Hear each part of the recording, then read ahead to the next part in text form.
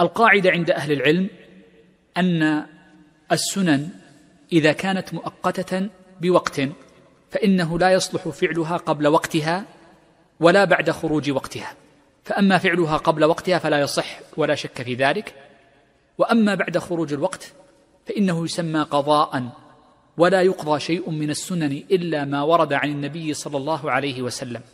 ولم يثبت عنه صلى الله عليه وسلم أنه قضى شيئا من الصلوات.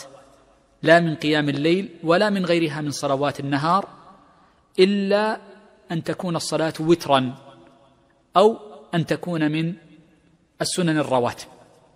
وبناء على ذلك فإنه لا يقضى من صلاة الليل لمن طلع عليه الفجر ولم يكن قد صلى صلاة الليل فإنه لا يصلي بعد طلوع الفجر شيئا من الصلوات إلا الوتر فقط دون ما عدا فيصليه بعد طلوع الفجر.